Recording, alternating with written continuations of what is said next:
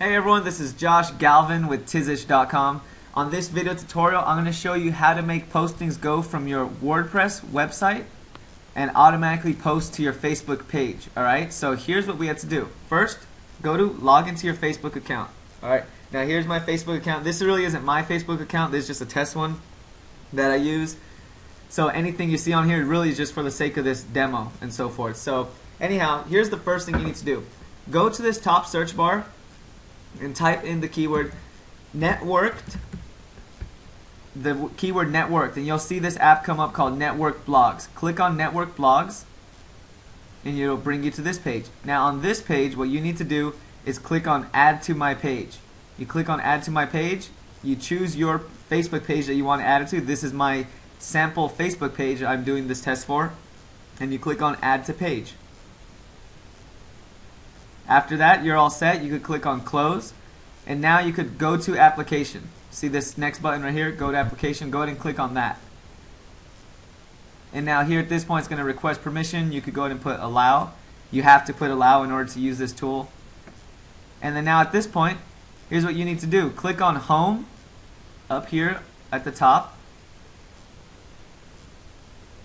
Oh, actually, you have to just choose five places to follow. So just choose five of them that you might like. I'm just going to pick five just out of the blue just to make this happen. So okay, so I chose five. Now I go, I click on profile, alright? And now at this point, after clicking profile, here's what you want to do. Go click on the home setting once more.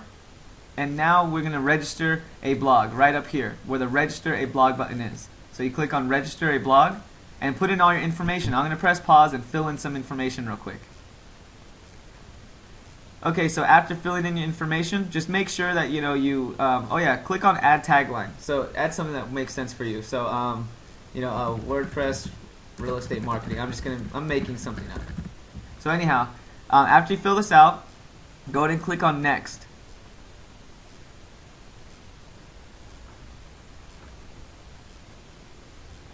After you click next, it's going to ask you if you're the author of the page you just created. Click on yes.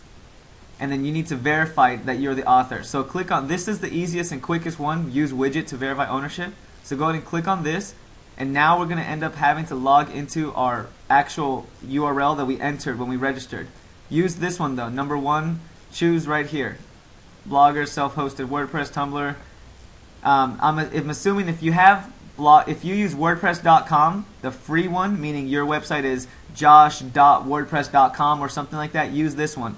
But if you have your own self-hosted WordPress, maybe you got it with us as Tizish, or maybe from someone else, or you just look at these services, click on this one, install widget. After you click on install widget, it's going to give you this code. Just click all that code, put copy, and now let's go log into our our admin panel for the page we created. So here I am in my admin panel for the site I'm using as this demo, which is joshgalvin.com. What you need to do is go under Appearance and click on Widgets. Now here under Widgets, here's what you need to do. Click the sidebar that you have and find a widget called Text. So see this one here called Text? I'm going to click on it and I'm going to drag it into my sidebar. So we're going to take this text, we're going to drag it all the way to our sidebar, anywhere in the sidebar, because we're just going to put it in here and then remove it. So after you drag it into your sidebar, just click, you know, you, no title, doesn't matter. After that, just hit paste. Right click and hit paste all that code we just copied. After that, click on save. Now that it's done loading, I can go back to the Facebook page found here where we took the code from originally and now all you have to do is click on verify widget and this might happen. See how it says verification failed? Here's what you're going to have to do. Well, actually, if that happens, uh, just click on Verify widget one more time by going back into your system, clicking Save one more time, and coming back here to verify again. You just need to do the same process one more time and hit Save. So anyhow, after that, go ahead and click on Next. And now we're pretty much almost complete. So you see right here, this is your blog page. Now let's activate publishing to Facebook. This is the final step. We have to click on Setup Syndication. And now here, these are the final two places. you can choose to auto post your your uh, your WordPress blog postings to your personal profile as well as when you click on fan pages configure as well as auto publish to your Facebook page uh, wall as well. It's your choice. But this tutorial is showing you how to make it go to your wall.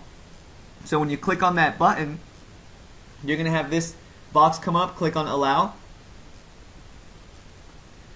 And then you'll see here, publish a test post to verify that your settings are correct. You could do that if you want.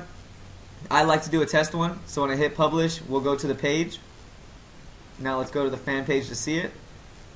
And here we go, we see the test posting here. This is a test post done. So now at this point, one more thing you have to do. On your fan page, make sure you just do this. Click on this arrow and click on the one that says blog. That pretty much is your network blog system. That'll have a tab here that'll show all your latest blog postings. And it'll say blog, it's going to show them all. Alright, now understand at this point you're all done. At this point, anytime you, you're in your WordPress website, let's say like this is obviously tizish.com, it's a WordPress based site. When you're here and you automatically hit the publish button, what's going to happen, it's going to now take from network blogs that gets your feed and automatically post it to your wall when you do everything I showed you in this video. Alright? Now one more quick tip. Um, I it's up to you if you want to have it auto-published to your personal profile, but if you want to, all you got to do is click on this checkbox and then click on allow. It's really straightforward. After doing that, um, you don't have to do a test one as well. It's up to you again. So anyhow, um, after that, you're all set. You know, you just you could hit a test, and now you're all set. Now, um, just to give you my tips, I don't recommend, in general, I usually don't recommend auto-publishing blog postings to your fan page or your personal profile because I like to add custom text to the description of the post to make someone want to actually click on it. But for any reason, if you want to do it, just do everything in the tutorial and make sure that these two items are checked off in the syndication settings. And then you're all set. Now if you want to uncheck them, all you got to do is just click on uncheck. And then now after doing that, you're all set. You don't have now if you uncheck them, you don't they won't be auto posting. Now let's say how do you find this from your actual wall? Like let's say you're here on your profile, right? You clicked on network blogs or let's just say you're on your Facebook page, and let's say after about two months, uh, you don't want to have auto posting, right? And you want to remove this application. Well, here's what you do: click on Network Blogs, which will be under. And uh, let's rewind. On your main home page of your Facebook login, you'll see here something that says Applications. When you click on Applications, this is when you'll see under Your Applications, find Network Blogs. And when you click on Network Blogs, now click on Profile and then now click onto the blogs that I write. And now here, you won't see this anymore, but let's just say if you want to remove your automatic syndication, you're going to have to go to this section here under syndication and click that. And then now you would just uncheck them, of course. You would just click on uncheck this and uncheck this setting here. And that's everything. Now, one more item. Let's say you just want to completely delete this system. You want to completely delete this. Well, here's what you do. You click on blogs that I write. And then under here, you're going to click on edit details. And here on this page, you're going to scroll down to this section here that says delete this blog. And all you're going to do is click delete.